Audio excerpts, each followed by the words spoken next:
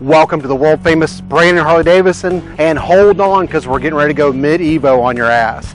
Right here we have a 1997 Road King.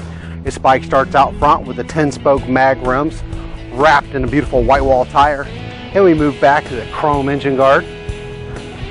80 cubic inch engine with five speed transmission, full size rider and passenger floorboards. This bike has true dual bulb exhaust.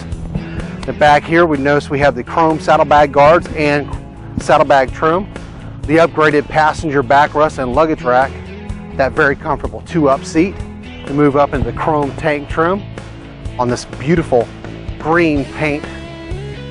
Up here on the front forks, we have upgraded grips, mirrors, and all braided lines.